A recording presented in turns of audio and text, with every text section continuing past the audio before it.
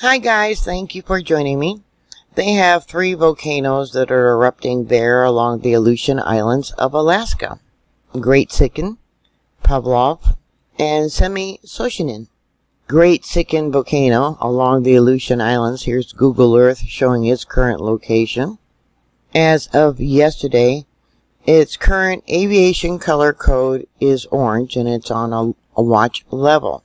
Elevated seismic activity continues at Great Sitkin volcano, but there is no clear signs of explosive activity recorded on local stations or on regional infrasound instruments over the past day elevated surface temperatures were observed on one satellite image, but all other satellite and web, web camera views of the volcano over the past day have been obscured by clouds.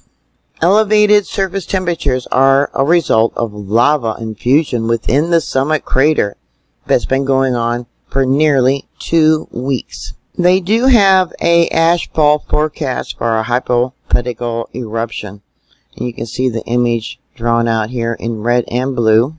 They evidently figure it could be a minor eruption or just trace amounts. You can see it red and blue right there. Alright, the next volcano that's currently erupting is Pavlof. We'll go to that location. Follow, follow it along the Aleutian Island chain. There we go. It's an area they call Aleutians East. Also, as of yesterday, unrest continues at Pavlof volcano, and minor ash emissions to just above the summit of the volcano were observed yesterday afternoon. Elevated seismicity, uh, small tremors, small explosions are continuing. The overall level of unrest has remained the same over the past several days. Ash emissions observed yesterday were limited to the extent and likely produced only local fallout on the local southeast flank of the volcano. Now the level of unrest at Pavlof can change quickly and the progression to significant eruptive activity can occur with little or no warning. Alaska Volcano Observatory has an image of this volcano, Pavlof, this was taken on the 5th, and you can see there's a small steam, possibly ash, emitting from the top of the summit. They also have a image of the eruption, currently just lava, coming from the Great Sitkin volcano. It looks like for hypothetical eruptions for Pavlof, um, probably just a minor eruption. You can see here in blue minor and then how far it would spread out if it was um, just trace amounts. They believe it would be a plume height of 4.6 kilometers. So that would be about 2.8 miles in height. And then the last of the three volcanoes, Semi-Soshini. And then using Google Earth, we'll go to its location. It too is along the Aleutian Islands. Right there. there was a small ash cloud that was generated and was first evident in a web camera image August 7th and then August 6th, roughly 30 minutes later. They noticed that the camera was partially dusted with ash, obscuring the view of the North Crater, indicating that ash fall was occurring over parts of the island.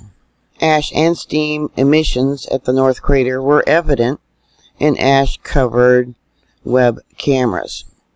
All three of these volcanoes are on current level of orange watch, which means the volcano is exhibiting heightened or escalating unrest with uncertain potential of eruption. Time frame uncertain or an eruption is underway that poses limited hazards, including no or minor volcanic ash emissions.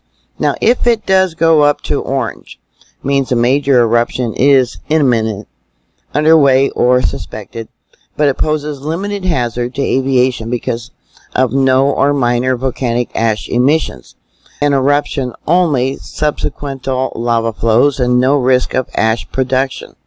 And then when it goes up to red, if it's for watch, it um, poses little hazard to ground-based communications, including significant emissions of ash into the atmosphere.